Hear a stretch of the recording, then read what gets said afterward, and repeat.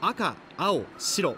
大阪・関西万博のテーマである命輝く未来社会のデザインが目を引く車両。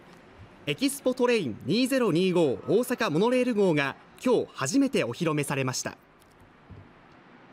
こちらの電車では車内に PR 動画が流れています。出発式の後には試乗会も行われ、はい、一般市民73人が乗車しましたキャラクターのイメージが強いかなと思ったけど、うん、綺麗なデザインで。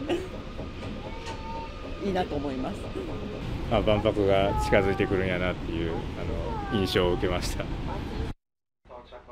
ラッピング車両は今日から万博が閉会する2025年10月13日までの3年間大阪モノレール全線で運行されるということです